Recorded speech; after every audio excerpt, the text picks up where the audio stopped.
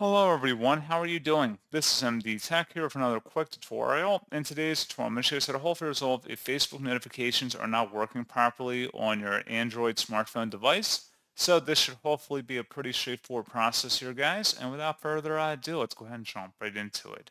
All you have to do is swipe up on your home screen and you want to select the settings gear button and then select the apps tile on this page and select where it says all apps near the top and then you want to scroll down and locate the Facebook app listing in here. Go ahead and select that.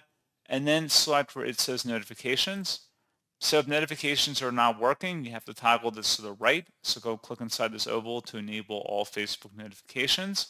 And that's all you have to do. So pretty straightforward process on that, guys. And as always, thank you for watching. I do hope that I was able to help you out. And I do look forward to catching you all in the next tutorial. Goodbye.